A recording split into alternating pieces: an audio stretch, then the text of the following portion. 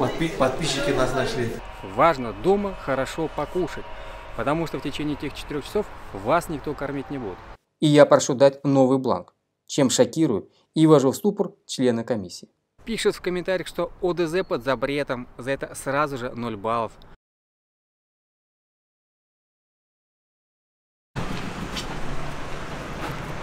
Добрый день, меня зовут Андрей Павлик. Сегодня 29 марта 2019 года.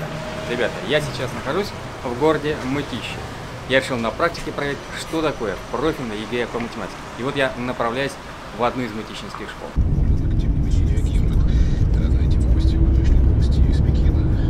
Это досрочный. Кто же его сдает? Его сдают так называемые 12-классники, то есть те, кто уже закончил школу. Ну а также спортсмены, либо те, кому предстоит длительная госпитализация на период основных экзаменов. Давайте посмотрим, как это работает на практике. Как я уже сказал, я решил на практике проверить, что же это такое ЕГЭ, потому что я его раньше никогда не сдавал. Я учился в обычной школе, сдавал обычный выпускной экзамен, сдавал вступительный и выпускные экзамены в ВУЗе. Но теперь я хочу попробовать, что же это такое ЕГЭ по математике. Я учу вас математике, но сам-то экзамен не сдавал. И поскольку я живу в Московской области, меня направили вот эту школу номер 10 имени Астрахова, города Мытищи.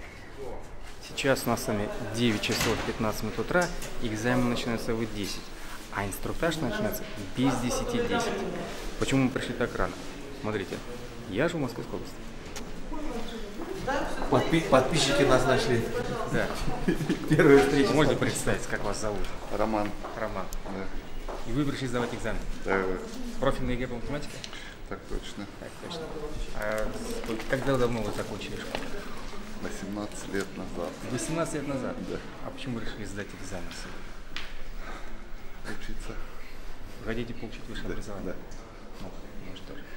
Неплохо умненько, да? Все, Большое спасибо. Ну что, пойдем сразу. А, все, можно ходить. Про вопрос. Здравствуйте. Здравствуйте. Вы на экзамен? Да. Паспорт, уведомление. Вот уведомление. Вот от паспорт.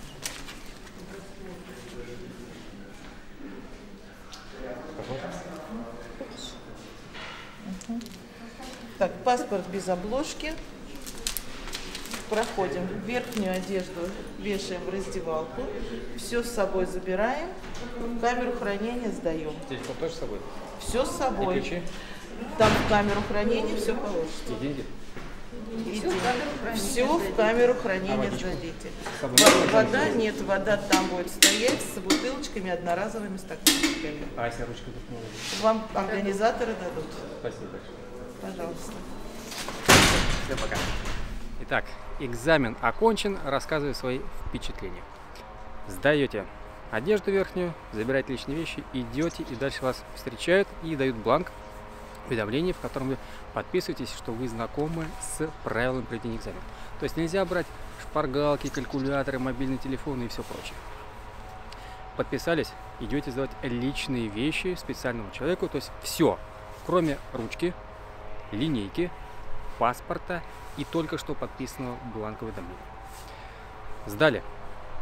Идете на следующий пункт, где вас обыскивают металлоискателем, забирают у вас вот это уведомление, что вы знакомы с тем, как проходит экзамен, проверяет паспорт и ваше лицо, что все совпадает, и после этого называют аудиторию, в которой вы будете писать экзамен. Без 10-10 всех разводят по классам. Причем у каждого заранее предопределено место внутри этого класса, где он будет сидеть. Пересаживаться запрещено, разговаривать друг с другом запрещено, ходить по классу без разрешения сопровождающих запрещено. Когда можно ходить? Ну, только если вы покидаете аудиторию на совсем, то есть закончили писать экзамен, либо хотите выйти в туалет. Отмечают время начала экзамена и начинается отсчет 3 часов 55 минут. Что важно? Важно дома хорошо покушать, потому что в течение этих 4 часов вас никто кормить не будет. Я, когда получил вариант на руки, у меня упали на пол черновики. Я стал, чтобы их сам поднять. Это получилось чисто случайно. Но тут же ко мне прошел проверяющий и перевернул с обеих сторон черновички, проверил, не написано ли что-нибудь на них. Ничего не написано. То есть он мне погрозил пальчиком, что нельзя вставать. Дальше. У меня в паспорте есть в номере паспорта цифра 1. Я ее написал как обычную один. Мне тут же сделали замечание, что так цифру 1 писать нельзя, нужно писать как просто обычную палочку, иначе компьютер ее распознает как цифру 4. А теперь давайте посмотрим результат моего экзамена. Переходим на сайт РЦОИ. Это сайт, на котором хранятся официальные результаты всех участников ЕГЭ по всем предметам. Отметим, что в Московской области профильную математику выбрали 708 человек, а по факту пришли 505. Для входа на сайт ввожу свои данные. Нажимаем строку результатов экзаменов и в краткой форме видим оценку. Это 100 баллов. Посмотрим более детально. Видим, что 100 тестовых баллов выставлены за 32 первичных. То есть это максимально возможный результат. Давайте посмотрим бланки. Задание с кратким ответом. Далее, бланки ответов номер 2. Их целых 6. Кратко по задачам. 13. Как видите, я начинаю решение с нахождения ОДЗ.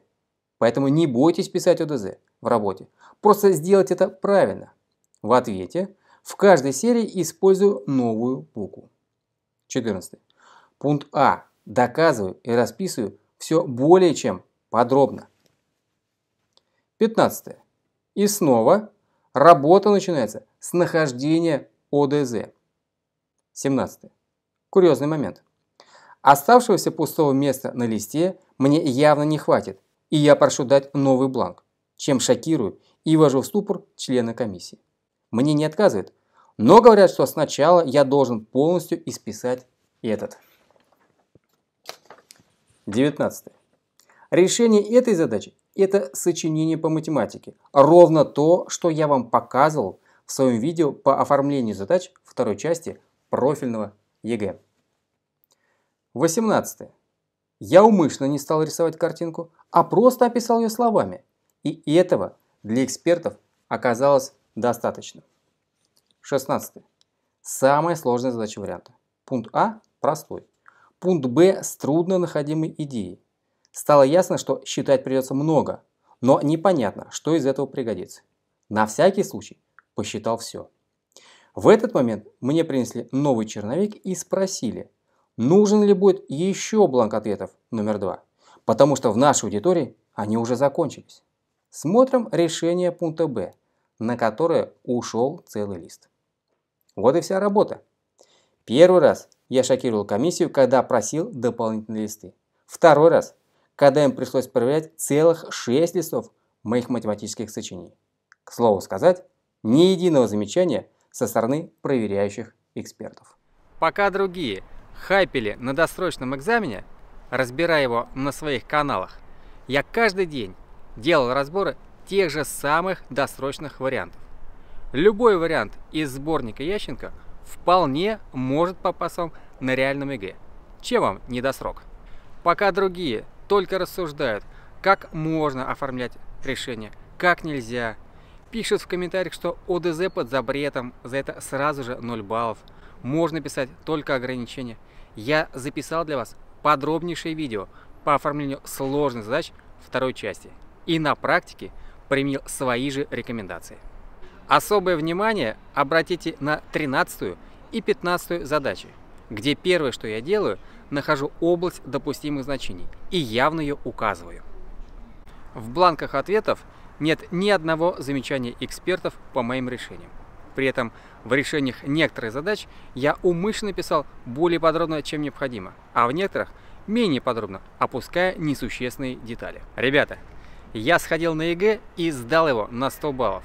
У меня получилось, а значит может получиться и у вас. Но для этого надо усердно заниматься. Когда я учился в школе, я очень много занимался математикой. И благодаря этому поступил на Мехмат МГУ. Но только на пятом курсе я осознал, что то, что я учусь в университете, это результат работы моих учителей. Именно поэтому я и сам стал преподавать, чтобы передать свой опыт и знания. Ребята, до экзамена еще целых полтора месяца. Соберите свою волю в кулак. Я в вас верю, у вас все получится. Лучшей формой вашей благодарности за мой труд будут ваши высокие результаты на ЕГЭ.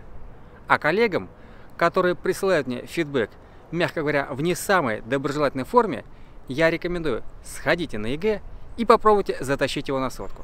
А о своих результатах напишите в комментариях. Ни пуха, ни пера.